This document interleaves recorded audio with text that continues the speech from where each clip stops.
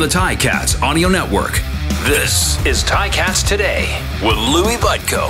Yes, it is Ticats Today for a Monday, July the 25th, 2022. The Hamilton Tiger Cats at practice today for the second day in a row, day two of practice, ahead of Thursday's game hosting the Montreal Alouettes, the first of six against the uh, divisional opponents, either the Montreal Alouettes or the Toronto Argonauts. Yes, all six of their next games come against either of those two teams. I think it goes Montreal, Toronto, Toronto, Montreal, Toronto, Toronto. So a huge stretch of football games uh, for the Hamilton Tiger Cats, of course, falling to one in five after last week's loss. And uh, yeah, two games back now of the first place Toronto Argonauts, who picked up a win in Saskatchewan last night. So a big week for the Ticats with the Owls in town, and we'll get you covered all week long here on the Ticats Audio Network, not just with this show leading up into Thursday's game, but every show on the Ticats Audio Network uh, really focused on a huge matchup this week.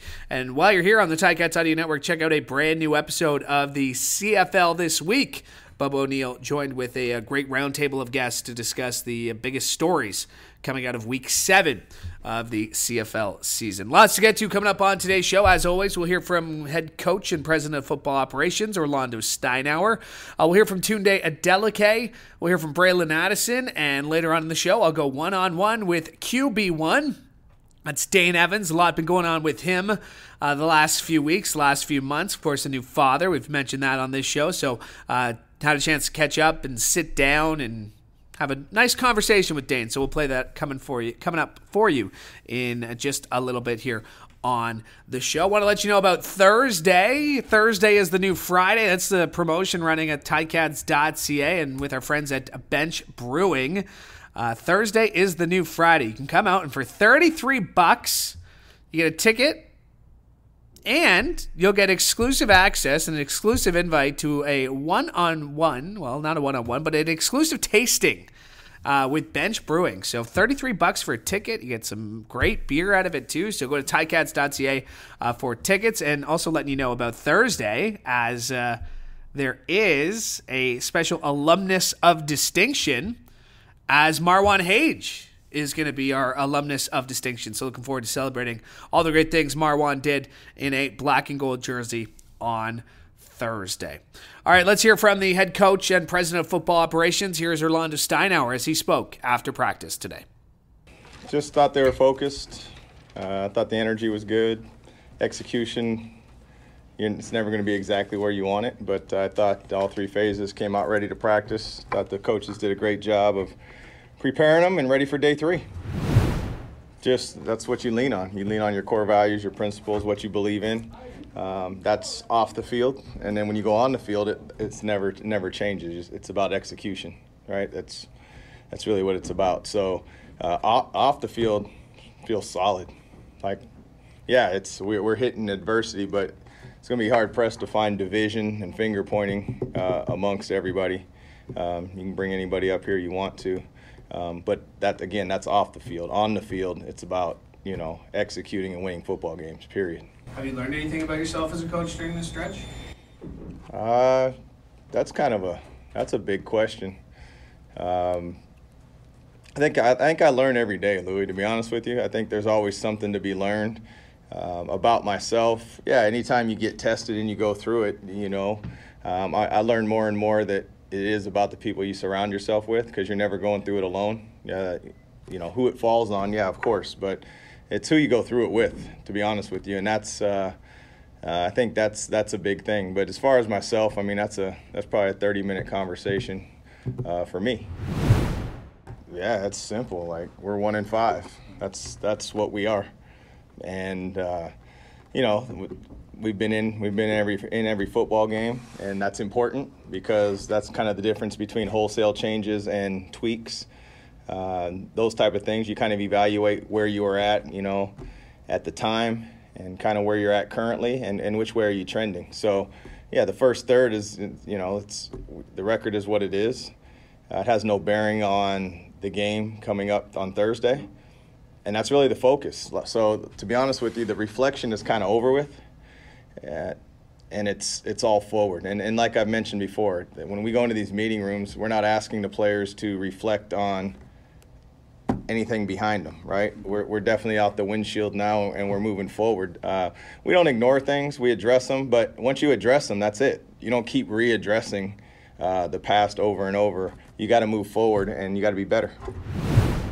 Yeah, so yeah, it's good to have Lamar out there. We really haven't seen him a whole bunch outside of conditioning on the side and, and, and doing some drills uh, since really about, I think, the first three, four days of training camp. So, um, still learning him, but uh, you know he's definitely in shape from all the running. And you know, as far as expectations, when it's time for him to make a play, we expect him to make a play the same way we would anybody else. As far as what that looks like, you know, we don't have you know that game plan will unfold as it goes. Um, but when it is time for him to catch the ball, we, you know, we would like to block it up and expect him to do it. Somebody was out there practicing. Do you expect him to play this week? Yeah, we'll, we'll, you know, I'm not trying to dodge it, but we'll see what happens. You know, obviously we've pulled him off the six game. We'll see if he's going to be out there or not um, when we do our final roster. And that is the head coach and president of football operations, Orlando Steinauer, as he spoke after practice, giving a little bit of an injury update. And uh, Lamar Durant, full participant. Cariel Brooks, full participant. Uh, who else? Um, who do we else we got here? Yeah, there's some guys who were limited. Trey Crawford's been limited. Chris Van Zyl did not practice for the second day in a row. Lee Autry was limited. Nick Cross, Anthony Johnson uh, did not practice. Uh, of course, they are on the six-game injured list. But good news, Simoni Lawrence has been activated off the six-game injured list, and you just heard there from uh, Coach. Uh, they'll wait and see whether he will be good to go for Thursday against the Alouettes. Uh, let's hear from Tunde Adeleke. A chance to catch up with him after practice. Here's what he had to say about his team's performance through the first third of the season. Obviously, yeah, just being with one and five, we're not really happy with where we are right now.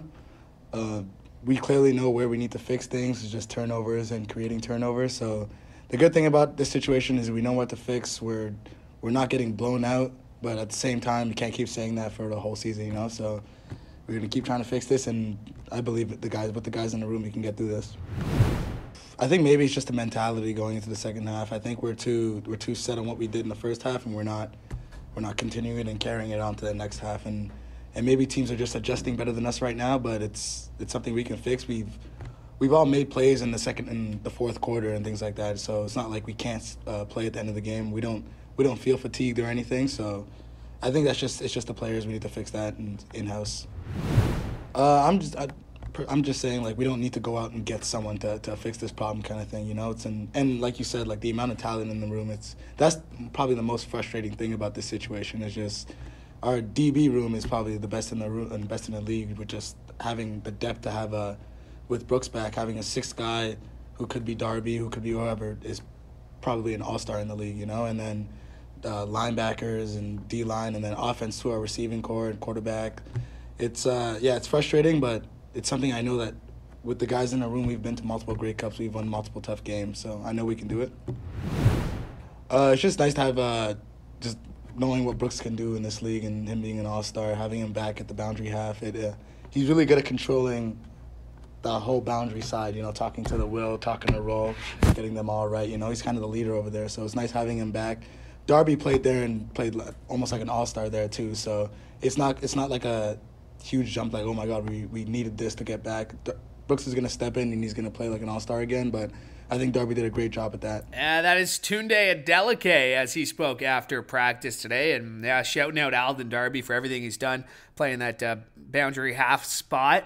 Um, but with Cariel Brooks, there is a pl- plethora of riches when it comes to defensive backs on this team. We knew this was going to happen. We talked about this going into the season, but with injuries and even Des Lawrence, last year's Rookie of the Year for the Tiger Cats, uh, where's his spot in that secondary? So lots of options uh, for Coach Joaquin Bradley and assistant uh, DBs coach, uh, of course, also special teams coordinator Craig Butler. But we'll keep our eye on that ahead of the uh, Thursday's game when we get the depth chart in our hand on Wednesday. We'll uh, we'll break that down for you right here on Ticats today.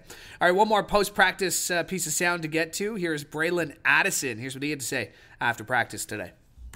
Uh, kind of the same as last week. Um, you know, we're doing some good things, doing some things that we're not proud of. Um, we just got to find a way to put it all together and uh, start building on wins. Um, the, the, East, the race for the East starts now. Um, we got six East games in a row, and uh, starts this Thursday with Montreal. So um, we got to try to put it all together this Thursday and come away with a win. I think if you look at the record on paper, uh, it says one in five, but I think if you watch game tape, um, there's times and things that we do that you know kind of we shoot ourselves in the foot, penalties or you know timely turnover or you know timely whatever it may be. Um, I think we're I don't want to make a moral victory, but I think we're two plays away or three plays away. If the ball bounces another way, we're five and one or four and two. So um, not gonna harp on it, but um, the reality is, like you said, we won in five. Um, we just got to find a way to put it all together as a collective whole. Uh, yeah, I think uh, Coach O says it all the time. Is like uh, every guy can't take his turn. Meaning, like like you just said, sometimes it's me, sometimes it's X, whoever it is. No number matters, but it's just I feel like at times everybody's taking their turn and doing what we don't want to do. And I think once we kind of put it all together and you know we're on the same accord for a whole four quarters, I think you know we'll be where we want to be. Um, I don't think the record will be one and five. I won't sit here and say we'd be six and zero, oh, but uh, like I said, if we could just find a way to put it all together, um, starting this Thursday, I think we'll be all right. Uh, I think just reiterating that we, we trust them, we believe in them, we love them, no matter you know what the outsiders say or what you know the stats may say. Um, like I said a couple weeks ago, some of the picks that he's thrown is they bounced off somebody's hand, whether it be me or another guy, it's bounced off people's hand and fell into the defense's hand, or um, some sacks we had that you know our own guy punched the ball out and things like that. So um, we just try to tell him to like keep doing you, keep being Dane Evans. Um, you know, he took us to the Grey Cup in 2019, and then last year he came in and he saved us in uh, the East Final. So uh, we have full confidence in him. We have full trust in him. We're behind him 100%. Um, like I said, if you watch the film, uh, it's times where you see multiple guys coming up to him during the game and giving him a pat on his helmet to let him know like we're with him no matter what. So um, I think, like you said, he's had some things going on outside of football that you know may have added some extra stress or pressure as far as having a new baby and being a father. Um, but Dane's a guy. He's going to come in every day. He's going to work like he's passed for 8,000 yards and 72 touchdowns. Um, I, I, don't think he's going to wither away or, or back down because it's not going so well right now. Um, so we lo- we love him and we're fully behind him. We love him and we're fully behind him. That's Bralon Addison talking about their quarterback, QB1 Dane Evans. And speaking of Dane, Yesterday, there was a Tiger Cats practice. Uh, I was here by myself uh, watching and uh, had a chance to uh, get a, an exclusive one on one with Dane Evans. And he's someone I know who's had a lot going on the last uh, couple of months. Uh, with the addition, him and his wife, Nikki, welcoming baby Ivy to the family. So lots going on with Dane. So I thought it'd be a good chance to just kind of sit down, talk, see how he's doing, and that's how we started our conversation. I just wanted to know how he was doing. I'm good. Yeah. I'm good. Um, glad to be back home after that trip. Just it always takes it out of you for a couple days. Um, just it was a short week, so we didn't have to go out like early, you know, and get like adjusted. So I think a lot of the guys are messed up on the time change, but it's pretty good other than that. And obviously, with a, a youngin at home now, like yeah. she's young, she's up. I know you got a great support system around you, but a lot going on with you right now. Yeah, yeah, it is. Um, got up at like three this morning, changing diapers, and then try to get a little nap before I come back up here. But um, it's going good. It really is. Uh, she's like at the point. She's still very young, obviously, but she's at the point now where she can like, like she can actually see a little bit, you know. So she's like picking things up with her eyes and like moving around. So uh, it's been it's been cool. It's been cool. I know. I saw Nikki's uh, mom was here. Yes. I know you've got a great support system helping you out. How, how important has that been? It's been huge, just because you know when when it's just me and her up here, I'm up here for a lot, you know, for like a lot of the day. Um, so it's nice whenever her mom can come up or my mom can come up or her sisters or my sister. It's just nice to have another person in the house to be able to help. Um, kind of takes the doesn't really take the load off, but takes like my mind off of like, oh man, Nikki's just at home all day. You know what I mean? Yeah. So it's been, it's been good.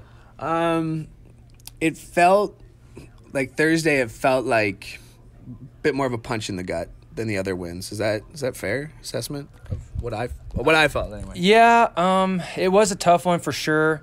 Um, I think that was a good team. First of all, that's what I'm going to say. BC's a good team. Um, we had a lot of adversity before the game even started with short week, all that stuff. But that's just what it is. You know that that's nothing to like make up for it. It's, that's what happened. Um, and then you know we had every opportunity. With with all that being said, they're a good team. We're a good team. We had every opportunity, and we still just didn't. You know, we we missed it. We had a couple chances, didn't get it done. Um, but I guess the positive in it is is like watching the tape and a couple days have gone by. It's not like it's it's not like anything revolutionary needs to happen. We just got to play a full game. You know, like the only team really to beat us this year is ourselves, right? Like if you look at every game, we've been in it and then we take ourselves out of it. And we just got to figure out how to stop doing that. And then I think we'll be a pretty damn good team. You know what I mean?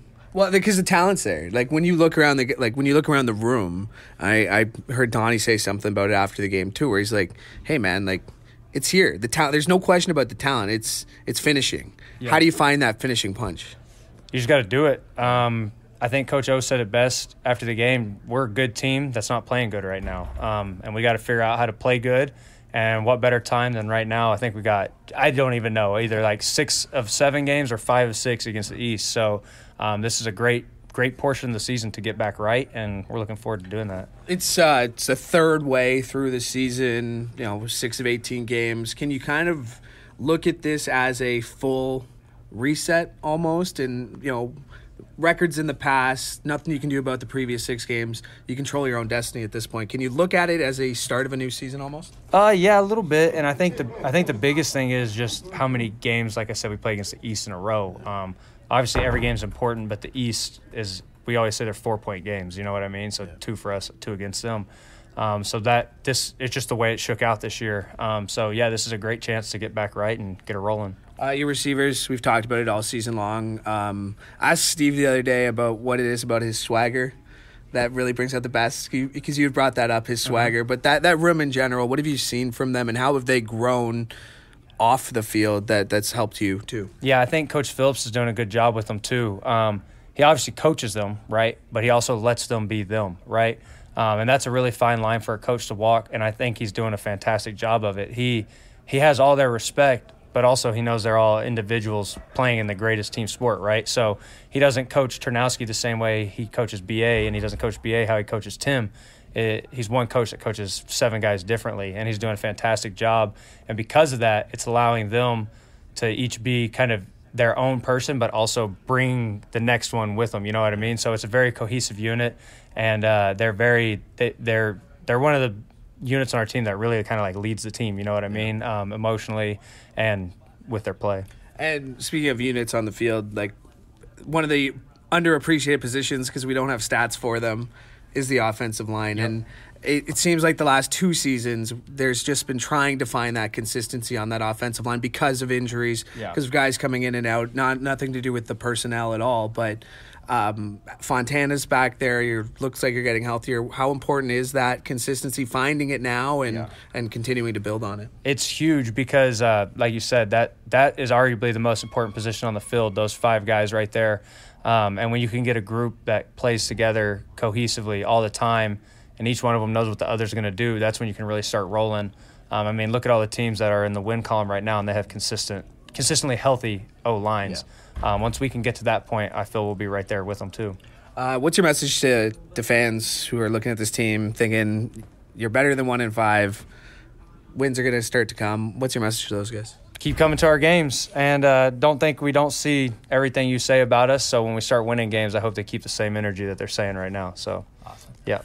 And that is Dane Evans as a chance to catch up with him one on one yesterday. And uh, yeah, really, that was a message don't think that they don't read what you're saying. Um, and he hopes you keep the same energy uh, once this team figures it out and starts winning football games. Have to start figuring out soon. They're two games back of first place. The Argos, they're one game back of a playoff spot. The Montreal Alouettes currently hold the second spot in the East Division. They are the opponents on Thursday, and we'll get you set for that game right through the week leading up to the call with RJ and we are back tomorrow. That's why it's called Ticats Today. Thanks for joining us today. Uh, but as mentioned, back tomorrow. We will talk to you then from all of us here at the Ticats Audio Network. I'm Louie Butko, hoping you have a great day. Ticats Today can be heard every weekday, and we would like to hear from you. Email us at gameday at ticats.ca. Have a question or an opinion? We want to hear it. That's gameday at ticats.ca. Subscribe to the Ticats Audio Network on Spotify or wherever you get your podcasts.